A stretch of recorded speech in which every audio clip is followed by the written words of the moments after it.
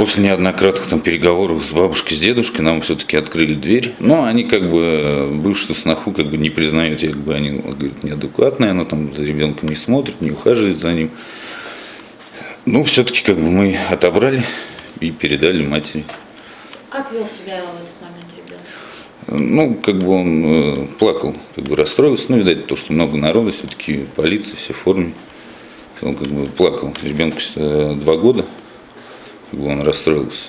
Сколько человек участвовало вот в этой операции из правоохранительных органов? Ну, совместно с нами было 10 человек. 10 человек, то есть вы Здесь зашли в совместно полицией, да, 10 неведомственная охрана была, а, сотрудники ПДН были, то есть все. И вот как бы совместно с ними, с переговорами, как бы передали ребенка все-таки матери. Сам отец ребенка не объявлялся к вам? Сам отец не объявлялся, он не присутствовал дома. Настя рассказывала, что они ребенка закрыли, да, в комнате? Ну да, они закрывали ребенка в комнате, как бы э, не впускали.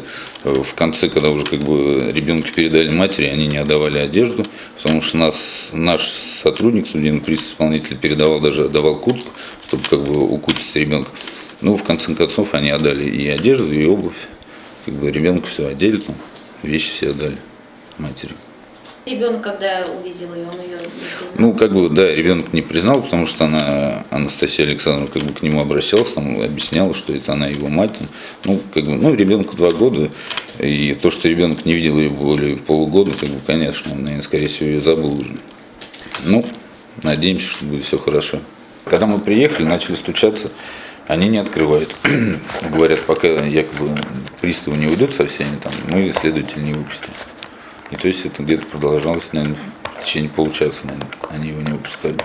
Ну, дверь вы не взламывали? Нет. Ну, как бы уже планировали.